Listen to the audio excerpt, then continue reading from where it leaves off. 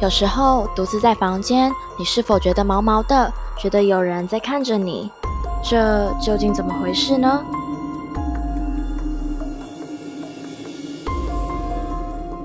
科学家曾做过实验，在一场音乐会中悄悄发送次声波，结果显示，许多观众都感受到不安、恐惧、浑身发凉的感觉。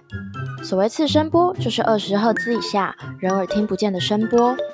虽然听不到，人体却能感受得到。与身体器官频率相近的次声波，可能造成胸腔震动、血压升高的现象，让人觉得浑身不对劲，想吐又晕眩。次声波也可能引起眼球震动，影响视觉，让人看见模糊的影像或是不存在的东西。生活中很多情况都会产生次声波，运转的机械、家电装置，甚至风吹过门窗等。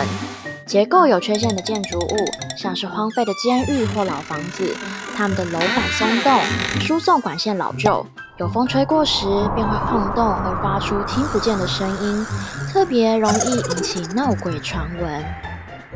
所以下次觉得背后凉凉、心里毛毛的时候，先别害怕喽。也许你需要做的只是关掉隔壁房间的电风扇。